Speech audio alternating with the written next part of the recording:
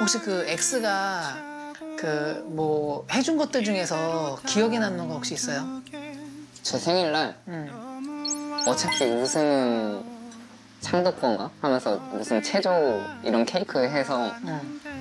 그걸 선물로 줬는데 어. 그게 기억에 많이 났어. 편지도 엄청 자주 썼, 써줬었어.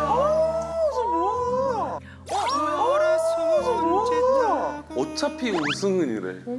센스 있는 선물이다. 저거 하려면 그냥 이거 주세요가 아니라 이렇게 이렇게 해서요. 맞아. 이렇게 해주시고 이렇게 디자인해야 돼. 해주세요. 해가지고 너무 로맨틱하다. 그 친구가 저 시합 시합 날에 그걸 보러 왔어요. 오. 그래서 저런 거 배워야 돼. 진짜 힘이 많이 될 것 같아.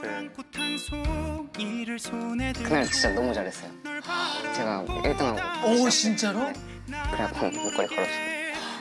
어, 진짜 금메달을 따서 준 거예요? 와, 멋지다, 진짜. 그냥 운동 힘들면은 제가 우울하면 우울한 것도 다 받아주고 응. 제일 기억에 남는 사람이